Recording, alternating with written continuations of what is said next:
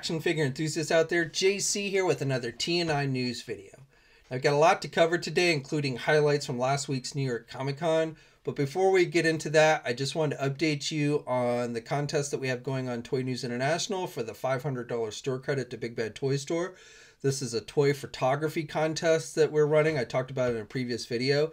Now, this is a three stage contest, and the first stage where people could enter their submissions, their toy photography submissions, is actually closed. So, if you didn't get in on the first stage, well, you're not going to be able to win the $500 store credit. But yet, there is still a chance for you to win we're now into the second stage, which is a fan vote stage. So we have over on the Toy News International message boards a breakdown of all the entries in their in their photos, and people can now who are registered on the message boards can go and vote. They can pick up to their three uh, favorites, and then the top five that get the most votes will move on to the final stage. Now, as far as you, you know, assuming you didn't enter into stage one, how can you win? Well, we had the normal $100 store credit contest to Big Bad Toy Store that we do every month on the message boards. And when you vote, even if that's all you do, that will automatically enter you at least one time into that contest. So again, you will actually have a chance to win just by voting, even if you didn't have a submission in there. But despite the contest, you can also, you know, just go over to see a lot of cool action figure toy photography. And if you've got a favorite toy photographer who did enter the contest, you can cheer them on as well. So uh, definitely, I think it's worth checking out. And I will have a link to to all of those entries and the contest details and everything in the video description below. Okay, so let's get into the news. So most of this news is going to focus on stuff that we saw at New York Comic Con last week. And I got to be honest, it was there wasn't as much as I was hoping for. Uh, a lot of companies didn't really show much in the way of new stuff, stuff that we hadn't seen like you know since San Diego Comic Con. So that was a little disappointing. We saw a few new things, which were kind of cool, which is what I'm basically going to be going over today. But it wasn't quite as much as I was hoping for. But let's start off with McFarlane Toys. So, uh, first of all, they did not show off any of their DC comic stuff.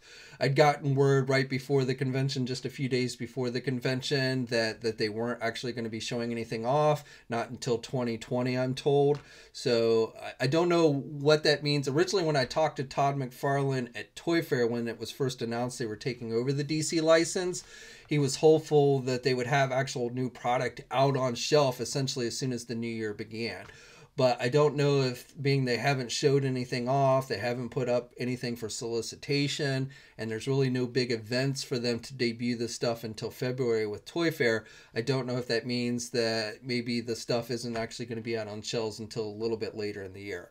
Uh, we'll have to wait and see. I mean, they might just put it out there. Um, you know, who knows? But McFarlane did. They did have a new figure that they showed off at New York Comic Con, which was actually kind of a surprise figure and this was uh, based on the the Valiant comic character known as Bloodshot, and specifically on the movie version. So I'm not entirely sure if this movie will actually see the light of day, but there's supposed to be a movie based on the Bloodshot character that will star Vin Diesel. There was a limited edition comic book cover put out with with with his likeness and everything, and that is what this new action figure that McFarlane Toys is doing is based on is the Vin Diesel movie version of the character. So you can see there's definitely a, a strong resemblance to Vin Diesel with this action figure. They had it on display at New York Comic Con, but then shortly afterwards uh, released official images for the figure. So the figure is going to be released in January 2020 and it's going to come with said to have about 22 points of articulation and then it's going to come with a machine gun, uh, a knife, two handguns and and uh, a figure stand. So uh, again, this is based on the Bloodshot character from Valiant Comics, but specifically on the Vin Diesel movie version. And whether the movie actually gets released or not, we'll have to wait and see. Okay, now moving on to NECA Toys. So, right before New York Comic Con, news came out that the owner of NECA Toys, Joel Weinshanker, I believe I pronounced that last name. If not, I do apologize. But that he had gained controlling interest in the uh, Loot Crate. Loot Crate, you're probably familiar with. They do the box subscription service where you would have they would send you boxes full of various items, including things like you know Funko Pop figures and T-shirts and, and stuff like that. Well, that Loot Crate went, declared bankruptcy, but then uh, Joel, I guess, came along and and gave them a lifeline and and purchased the company or at least controlling interest in the company. So um, essentially, even though technically it's not NECA Toys themselves, the same person that owns NECA Toys now owns Loot Crate. And with that, it seems like we're already seeing, even though this deal just happened, it seems like uh, a number of joint uh, ventures between the two companies has begun. So first of all, they started doing uh, uh, a Batman figure, a DC comic Batman figure, a, a Tech Shield Batman, which is a tribute to the old Kenner Batman figure. This was offered through Loot Crate. Now, if you missed out, unfortunately, the door or the window of opportunity to getting that figure closed. I believe the last day you could try and get that figure was on October 7th you can still go to like eBay or such, but but um, you can't go to. I don't think you can go to the Loot Crate site and get it anymore. Now the the packaging again is tribute to the old Kenner line, but you can see the figure itself seems to be basically just a repaint of their Michael Keaton Batman figure with the metallic gold. So if I didn't get it, but if I did, I probably would have kept this one in the packaging. That seems to be the coolest thing about it. But besides the Batman figure, we also got an announcement that they're going to be doing a Teenage Mutant Ninja Turtle figure, uh, a 90s movie Splinter, a translucent spirit, a Splinter figure with a little fire based on that one scene in the movie. And then also they're doing a, a dress and play Gremlins figure. So um, two different uh, figures or total of three that are, have now been offered through Loot Crate. And being that the same person owns both i would suspect that we're going to start seeing more and more exclusives uh, from NECA Toys offered through the Loot Crate subscription service. Um, and if you want more details on this how to get the splinter and the gremlins figure head over to the Loot Crate site and i'll have a link in the video description below to that DC Collectibles, right before New York Comic Con, announced a number of new figures for both their Batman Animated Series line and DC Essentials line. Now, the DC Essential figures, for the most part, seem to be repaints, but we're getting uh, quite a few. We're getting a new Batman Rebirth version with different colors. And then we're also getting Flash with Speed Force, which is a translucent figure. So if you're a translucent figure collector, this is one I think you'll definitely want to check out. We're getting a new Nightwing with the black and red outfit as opposed to black and blue outfit. We're getting Return of Superman in the black outfit, which is kind of cool. And then they're doing a new line, it looks like, or a subline of the DC Essentials called Deceased figures, which essentially look like zombie type figures. So with that, we're getting Batman, the Joker, Harley Quinn, and Superman. And then for their animated series line, you know, they started the kind of continuing to do characters that weren't actually in the cartoon, but in that same style. So we're going to be seeing uh, Batman Who Laughs. Now, that's the only figure out of this group that they announced that we've seen. There's also going to be a Talon, a new Hush figure, and Thomas Wayne as Batman as well. But again, the only one that they released an image of was the, the Batman Who Laughs figure. Okay, and then specifically for New York Comic Con reveals, going back to NECA Toys, so they had their Teenage Mutant Ninja Turtle figures on display. The only new figure that we hadn't seen at San Diego Comic Con that they had on display was the Triceraton figure, the, the dinosaur guy, and he looks pretty good. They also had uh, packaged images for the next wave of animated series Target 2 packs, which includes the Rocksteady and Bebop. I still don't have any kind of specific release date other than fall, and obviously we're in fall now, so I would expect those to start dropping anytime now within the next month. But again, I don't have any kind of specific release date on those but but um, um, probably those are going to be in, in high demand. You know, with the Rocksteady and Bebop, and you have the two foot soldiers. You also have the the turtle figures with with the variant paint applications on them. But definitely the Rocksteady and Bebop, I think, will be in very high demand with those. And as far as I know of, those are only going to be sold in physical stores, like with the first wave. They unfortunately are not going to be made available on the Target website. For Storm Collectibles, they revealed two new figures. So, first of all, for their DC Injustice 112 scale line, they're going to be doing Superman. Now, this is, of course, based on the video game design, costume design. And then for Mortal Kombat, they also showed for the first time their Raiden figure. I don't have any kind of specific release dates on these figures yet, but hopefully they will be uh, solicited and we'll, we'll get more information on these very soon. Diamond Select Toys showed off another one of their new select 7 inch scale John Wick figures. So this one features John Wick in his white shirt with the sleeves rolled up. It's going to come with a bunch of new accessories, and that one is slated with a winter 2020 release date. Tamashii Nations had several reveals. So first of all, for their Dragon Ball line, they showed off a couple different SH Figuarts figures. No release dates on these, but looks like we're going to be getting Great Ape Vegeta, Captain Ginyu and Bulma's motorcycle, so a vehicle for the line, which is kind of interesting. Also for Street Fighter, they showed off their Sagat figure. No release date on that one either. Then for Star Wars, with their movie realization line, they're going to be doing Admiral Ackbar and for Marvel, they showed off, uh, looks like an updated version of their Avengers Endgame Captain America figure. So this one basically is going to have the added broken shield accessory and a lightning effect that you can attach to Thor's hammer. I don't have any release details on this. I don't know if this is like going to be the US version. Sometimes the US versions get added accessories that, that weren't released on the regular versions. Maybe uh, an overseas web exclusive as well. Again, I don't have any specific details. But if you held off on getting the SH Figuarts Endgame cap, it's probably a good thing because this is probably the one that you're going to want to get with the broken shield. Mezco had a couple new 112 collective figures to show off. So first of all, for you DC comic fans, they showed off their Mr. Freeze figure. So the, for New York Comic Con as an exclusive, they did a Batman Black Mask two pack, and now it looks like we're getting Mr. Freeze as well, which looks pretty good. Uh, the dome, uh, his uh, little helmet thing is, is all frosted up, so you you don't get to see his face very well. I don't know if that's removable or what. But if you're a Batman fan and like Mr. Freeze, that's one you're going to want to check out. They also had their Gambit figure. I can't remember if they had Gambit on display at San Diego. I know we had seen Gambit in one of their catalogs but they had him on display. And since then, they've actually released official images for the figure, and it is currently up for pre order.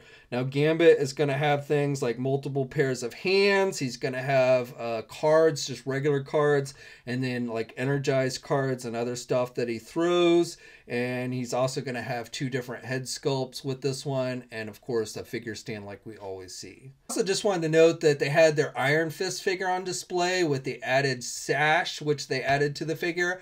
And I wasn't terribly impressed with the figure when I saw it in the promo images, but actually when I got to see it in person, it actually doesn't look too bad. So uh, I would say it definitely is an improvement over what we saw in the original promo images on that one. The Morbius figure, I don't know, I wasn't nearly as impressed with.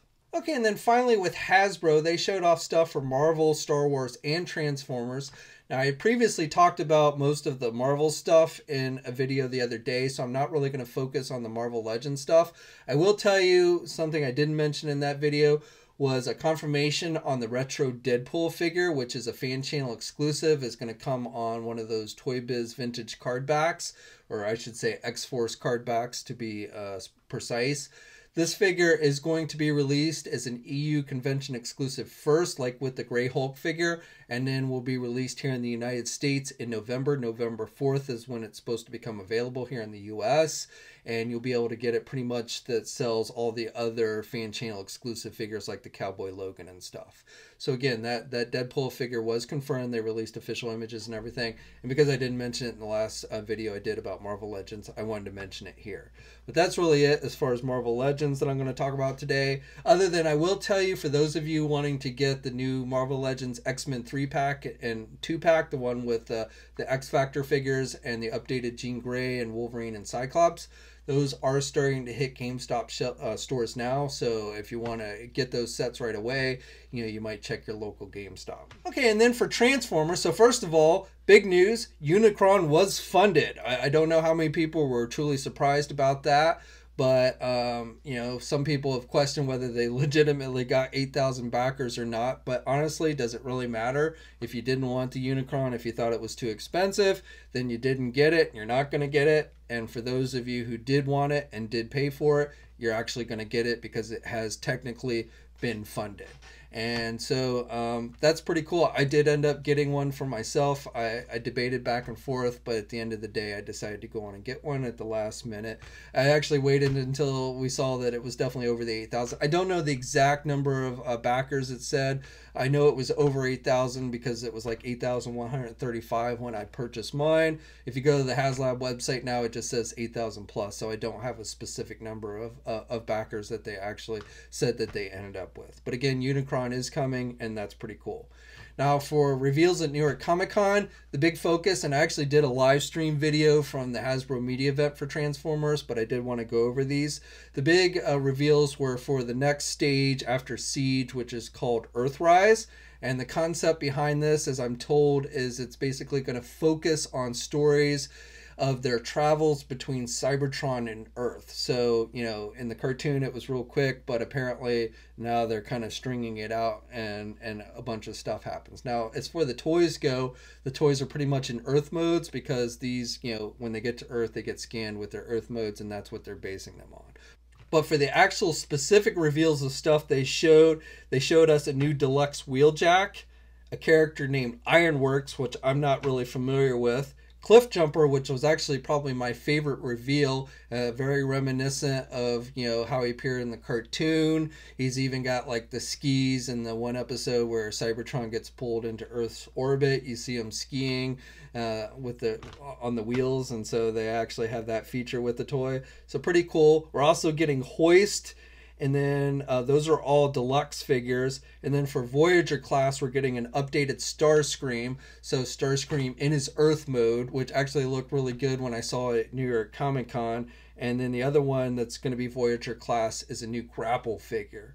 And then finally, we're getting for leader class, we're getting yet another Optimus Prime. I mean, I love Optimus Prime, but I mean, my God, how many different Optimus Prime figures do we actually need? But anyway, you know, he is coming for the Earthrise line. He's going to have his trailer. He's going to have you know features where you can put him in the trailer and stuff as as like a medical bay, like just like with the old toy and everything, uh, the original G1 toy and everything. So you know, if you're, I mean, if you need another Optimus Prime, this one definitely looks pretty good.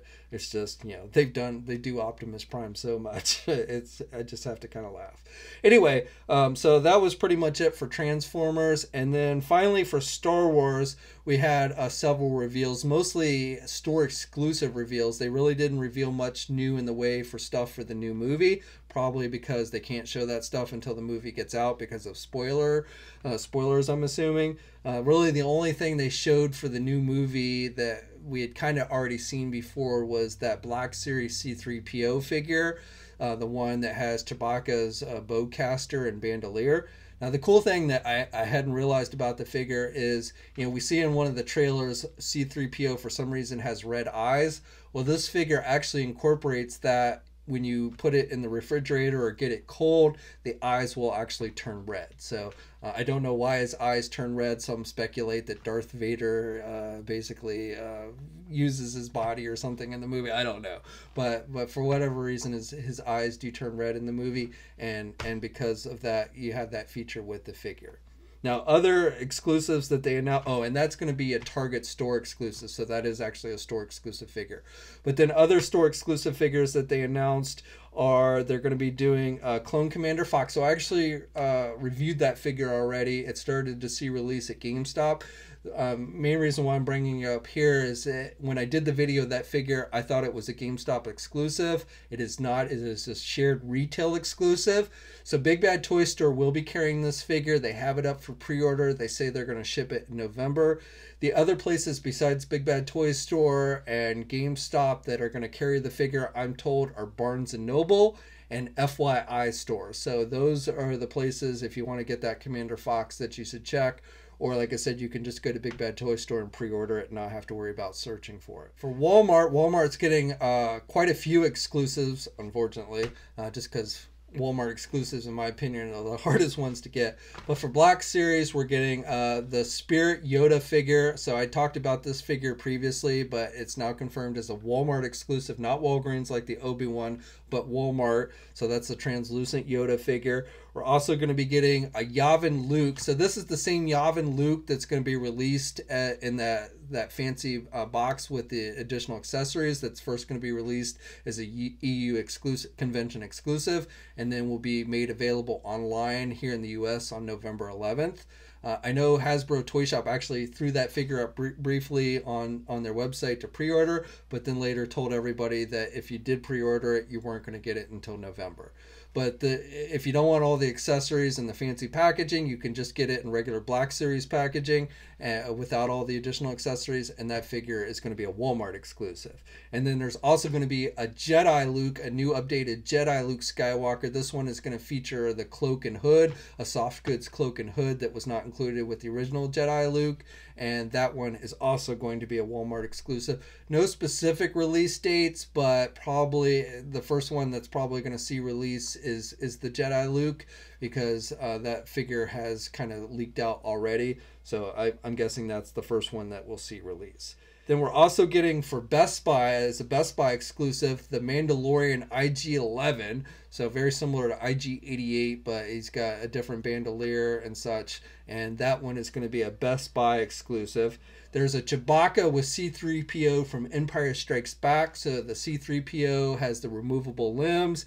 You get the little netted uh, backpack so you can put C3PO in it, and that Chewbacca can carry C3PO around like we saw in Empire Strikes Back. That is an Amazon exclusive. That figure is currently up for pre order now. So you can go over to the Amazon website and, and, and secure it if you want to. Now, as regular release figures, we are getting a Wedge Antilles figure based on A New Hope and then there's also the Rise of Skywalker. They're doing uh, the Jet Trooper, the First Order Jet Trooper, which is currently there is a, a carbonized version that is hitting Walmart stores now, but there's a regular version that we'll see release everywhere. Um, and that figure, I don't think it's out now, but probably will be out very soon. And then for vintage collector fans, there's a new three pack that was announced that's going to be released as a Target store exclusive. This is called the Cave of Evil three pack, which features Luke Skywalker from Dagobah, a Yoda figure, and then Darth Vader with a removable faceplate that has Luke Skywalker's face, the version that Luke encountered in the cave on Dagobah in Empire Strikes Back. So that one's kind of cool. Now it is pricey. That figure, that three pack is going to cost forty dollars, so um, definitely kind of pricey. But probably the for the vintage collection, that was kind of the coolest reveal in my opinion. That uh, I like that Darth Vader with the Luke Skywalker face. And then also there's going to be a new uh, Sith Trooper with a lot of the weapons, like we saw with the San Diego Comic Con exclusive version in the Black Series. So they're doing a vintage collection version of that one, and that is going to be an Amazon exclusive. There's also a regular version of the Sith Trooper that will be available everywhere that just has two of the weapons. But again, if you want all the different weapons, then you'll have to get the Amazon exclusive version. And then other vintage collection figures they showed off was the Yavin Luke, which we actually did a review of on Jedi Insider several weeks ago. It's been out overseas. That's going to be a Walmart exclusive here in the U.S. They're doing ceremonial Leia on the vintage card back. You know, the outfit she wore at the end of A New Hope when she put the medals on Han and Luke. We're getting a Jawa on the vintage card back, vintage collection card back, and the Black Stormtroopers from uh, Rogue One will also be done on the vintage collection line. And those are all general release figures. Okay, so that's it for today. I'd love to hear your thoughts on everything I talked about. Let me know in the comments section below. Also, please subscribe to the channel if you haven't already. Hit the bell notification to alerted every time I upload a new video. And if you're so inclined, also like the video. You can follow me on my Facebook, Twitter, and Instagram accounts. I have links to those in the video description as well. Please be sure to uh, check out the action figure toy photography contest and vote for your, your favorite choices and be entered for a chance to win a $100 store credit to Big Bad Toy Store. And as always, until next time, I'll catch you later.